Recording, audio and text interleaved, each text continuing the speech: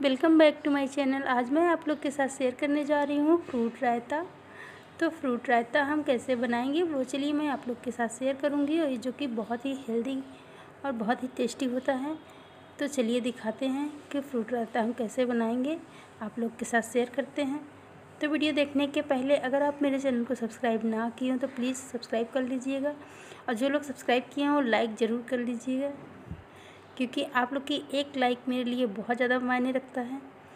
तो चलिए वीडियो को शुरू करते हैं और दिखाते हैं मुझे किन सामग्रियों की तो यहाँ पे मैंने लिया है एक कटोरी दही ली है और यहाँ पे मैंने लिया है फल, जो कि एक लिया है मैंने केला लिया है। यहाँ पे और यहाँ पे मैंने लिया है एक सेब लिया है और एक अनार लिया है। तो इन सबको छील लेंगे। और यहाँ पे मैंने एक कटोरी दही ली है। दो बड़े चम्मच चीनी लिया है। चीनी की जगह आप चाहे तो चीनी का पाउडर भी इस्तेमाल कर सकते हैं, शुगर पाउडर। और वहाँ पर मैंने चाट मसाला लिया था और ये नमक और भुना पिसा जीरा है। तो चलिए अब शुरू करते हैं। इसे बनाना सबसे पहले इस फल को मैं काट लेती हूँ। छील करके इसे काट लूँगी। तो देखिए मैंने फल को छील के काट लिया है। यहाँ पे छोटे टुकड़े करके रख लिए हैं। मैंने बहुत छोटे क्यूब्स वाले टुकड़े बनाए हैं, क्योंकि बहुत बड़े वाले टुकड़े अच्छे नहीं लगते। तो मैंने छोटे छोटे टुकड़े बनाए हैं। तो यहाँ पर मैंने दही को निकाल लिया है एक बाउल में। और यहाँ पर मैं चीनी भी डाल देती हूँ साथ में, क्योंकि मेरा शुगर पाउडर होता तो मैं बाद में भी ऐड कर सकती थी। लेकिन यहाँ पर मैंने चीनी लिया तो चीनी को मेल्ट होना ज़रूरी है। तो चीनी मैं दही के साथ ही मेल्ट कर दूँगी, एक साथ दोनों मेल्ट हो जाते हैं, अच्छे से मिक्स हो जाते हैं। दही, चीनी।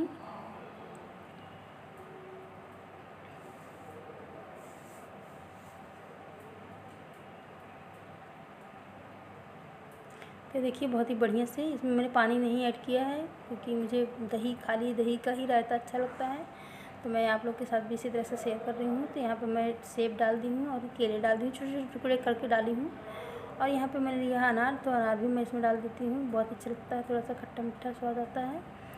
तो इन सबको जो है अच्छे से मिला देती हूँ। फ्रूट जैसे कि आपको जो पसंद आए वो आप ले लीजिए, जो आपके पास हो उससे बना लीजिए। कोई ये नहीं कि हमारे पास ये नहीं तो कैसे बनाएँ। जो फल है उसी में आप डाल के ये फल वाला रायता बना लीजिए आप। तो यहाँ पे मैंने लिया है काला नमक जो मैंने दिखाया था, वो मैं ऐड कर देती हूँ। तो काला नमक ऐड कर दिया मैंने। और यहाँ पर जो है जीरा ऐड कर देती हूँ। तो अगर आप लोग को मेरे वीडियो में कोई आवाज़ जाए तो एरोप्लेन जा रही है ऊपर से, इसलिए उसकी आवाज़ जा रही है। तो यहाँ पे मैंने चाट मसाला डाल दिया है।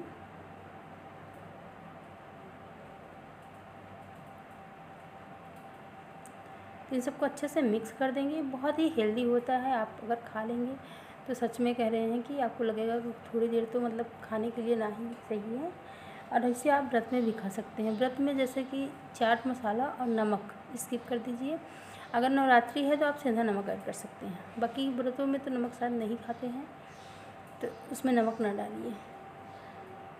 तो अगर आप लोग को मेरा फ्रूट रायता पसंद आया हो तो प्लीज़ मेरे वीडियो को लाइक ज़रूर कीजिएगा। जो लोग सब्सक्राइब किए हों, लाइक कर देंगे।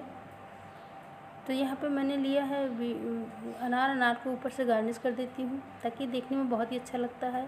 जब कोई चीज़ ऊपर से अच्छे से सजा के ले जाए तो खाने का ना भी मन रहे तो आदमी खा लेता है।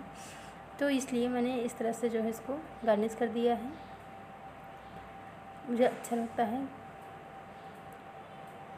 तो ये देखिए, आप लोग सेम इसी तरह से बना के जो है खाइएगा। बहुत ही टेस्टी होगा, सच में। तो ये देखिए, लुक कितना अच्छा आ रहा है इसका। देखने में बहुत ही अच्छा लग रहा है। खाने में उतना ही यमी है।